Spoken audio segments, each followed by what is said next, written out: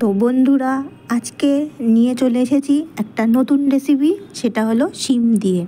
কিন্তু আমরা যে দেশি শিম খাই, সেই শিম না। আজকে একটু অন্যরকম দেখুন, এই শিমগুলো দিয়ে আজকে রেসিপিটা তৈরি করব। প্রথমেই শিমগুলোকে নিয়ে কেটে নিয়েছি দু সাইড করে, আর জল দিয়ে ভালো করে ধুয়ে নেওয়া হচ্ছে। এটাকে একটু গরম জলে ভাপিয়ে নেওয়া হবে।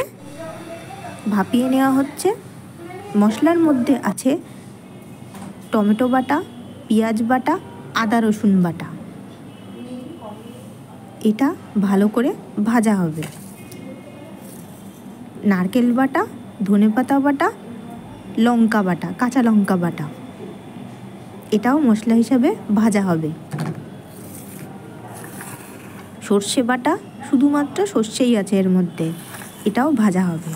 এছাড়া আছে নুন, চিনি, হলুদ আর আছে ধনে জিরের গুঁড়ো।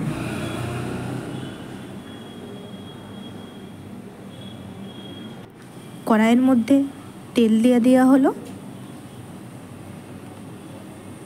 এদিকে ফুটতে শুরু করে দিয়েছে শিমগুলো, লম্বা লম্বা শিম। তেলের মধ্যে আমি জিরে দিয়ে দিলাম। এবার একটা একটা করে শিম দিতে থাকব। পুরো শিমগুলোই দিয়ে দিয়েছি, সেদ্ধ হওয়া শিম, তার মধ্যে নুন দিয়েছি, দিয়ে ভালো করে ভেজে নেওয়া হচ্ছে। ভালো করেই ভাজবো। যাতে শিমগুলো সর্ষে বাটা যখন দেওয়া হবে, মশলা দেওয়া হবে, কাঁচা না থেকে যায়, সেগুলো সুন্দর করে ভেজে নেওয়া হবে। আমরা যে দেশি শিমগুলো খাই এটা কিন্তু দেশি না। তো আজকে সেই জন্য এই রান্নাটা দেখাচ্ছি আপনাদের।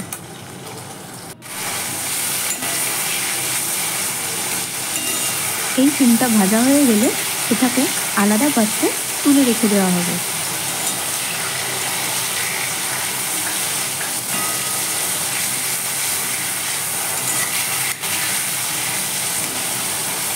শিমগুলো ভাজা হয়ে গেছে, আলাদা পাত্রে তুলে রেখে দেওয়া হলো। ওই তেলের মধ্যেই লঙ্কা বাটা, ধনে পাতা বাটা আর নারকেল বাটা দেওয়া হলো। দিয়ে ভালো করে ভেজে নেওয়া হবে। লঙ্কা বাটা, ধনে পাতা বাটা আর নারকেল কোড়া। নারকেল কোড়াগুলোকেও আবার বেটে নেওয়া হয়েছে। নারকেল কোড়া দিলে তরকারির টেস্টটা খুব ভালো হয়। সেই জন্য আমি নারকেল কোড়া ইউজ করেছি। নারকেলটাকে বেটে নিয়েছি।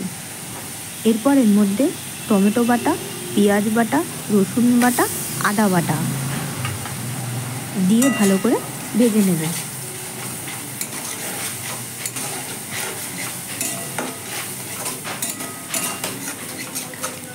খুব সুন্দর করে ভালো করে ভেজে নেব।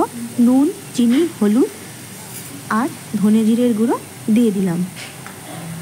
দিয়ে ভালো করে ভাজা হবে।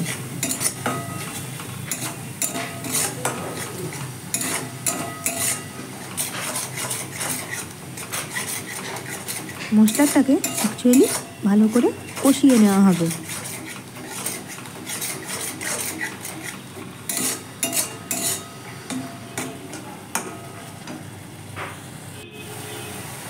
এবার এর মধ্যে বেটে রাখা সর্ষে বাটা দিয়ে দেওয়া হলো। দিয়ে আবার ভালো করে ভেজে নেওয়া হবে।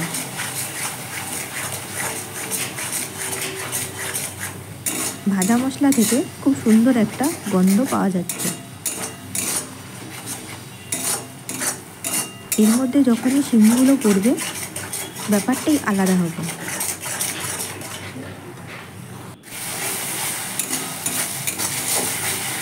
ভালো করে কষিয়ে নেওয়া হচ্ছে। এবার মশলাটা সিদ্ধ হওয়ার জন্য একটুখানি জল দিয়ে দিলাম। দিয়ে একটুখানি ভালো করে ফুটিয়ে নেব।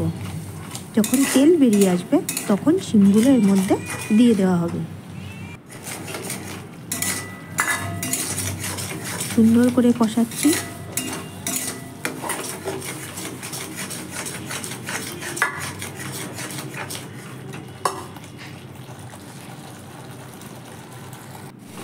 এবার এর মধ্যে ভেজে রাখা সিদ্ধ করা শিমগুলো দিয়ে দেবো। দিয়ে ভালো করে মাখিয়ে নেব। ভালো করে মাখিয়ে নিচ্ছি।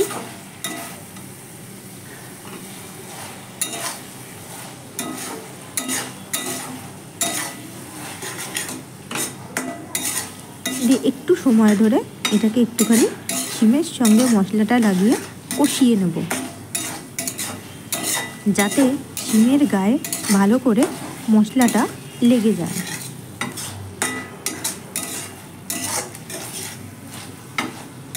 নুন আগেই দেওয়া হয়েছে, সেই জন্য নুন কিন্তু দিচ্ছি না পরে।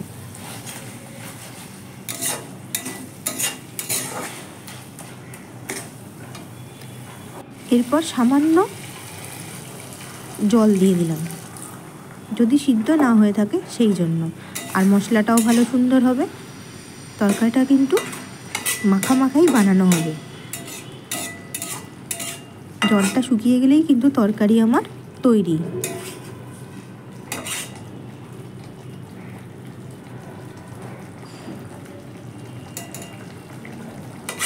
তো এইভাবেও আপনারাও বানিয়ে ফেলতে পারেন। লম্বা লম্বা, শিম দিয়ে, শিমের ঝাল।